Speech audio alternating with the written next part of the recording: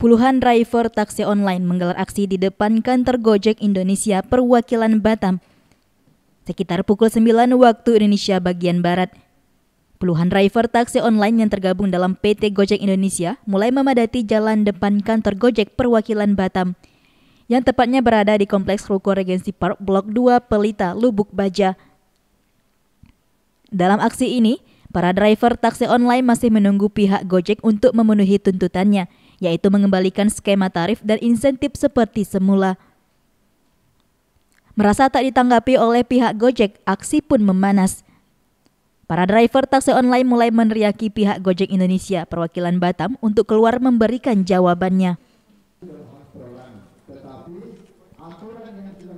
Sekitar 30 menit menunggu, Kepala Perwakilan Gojek Indonesia untuk Batam, Daniel pun keluar dengan pengawalan ketat dari pihak kepolisian.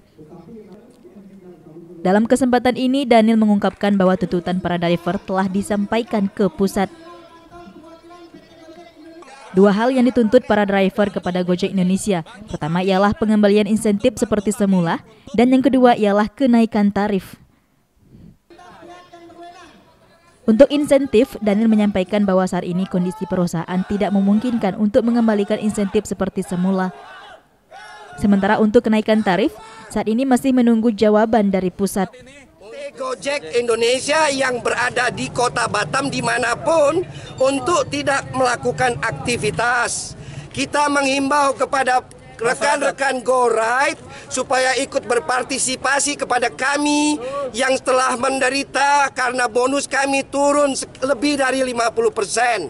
Kami sangat mengharapkan teman-teman GoRide okay. untuk merapat kepada kami supaya tidak ada alasan untuk PT Gojek Indonesia di Batam ini untuk tidak menutup kantornya. Terima kasih. Dan menghimbau Masukan dari kawan-kawan itu sudah didengar. Yang menjadi tuntutan dari kawan-kawan itu adalah mengenai pengembalian insentif dan mengenai tarif juga. Ada dua tuntutan yang di tuntut ke PT Gojek apakah uh, Gojek di bongkar di Batam itu mau bermain di insentif atau di uh, tarif. Dari dua tuntutan itu, uh, yang pertama itu mengenai insentif, saya sudah sampaikan minggu lalu. Pak, yang jelas, Pak, yang jelas, Pak. Dan untuk minggu ini juga saya sampaikan bahwa untuk insentif saat ini kondisi perusahaan tidak memungkinkan untuk mengembalikan perusahaan.